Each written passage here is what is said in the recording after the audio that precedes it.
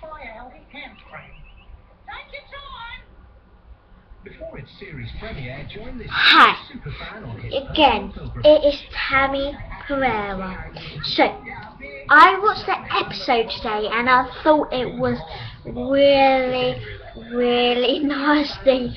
I mean, stop! Don't get your kids out on the road.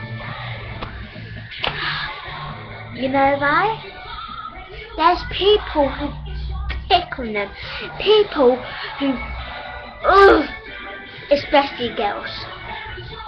Okay, so don't, let's say, uh, go to the shop or go and do the bins or whatever you ask them to do, to do out on the road.